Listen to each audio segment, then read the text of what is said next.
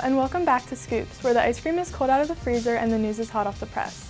Today's flavor is Mint Cookie Crumble, a delicious blend of mint ice cream and chocolate cookie swirls. Western Tech is having their cultural coalescence on November 8th from 8 a.m. to 1.30 p.m. Sounds like an amazing way for students to celebrate their culture with food, music, and performances.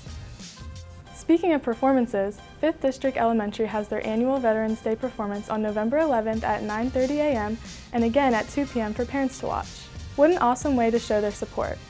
Cockeysville Middle School students will be helping with BCPS's Office of CTE Career Center ribbon cutting on November 13th from 10 to 11 a.m. The new Career and Technical Education Center is the first of its kind in the nation and will allow students to gain more hands-on experiences in different exciting career paths.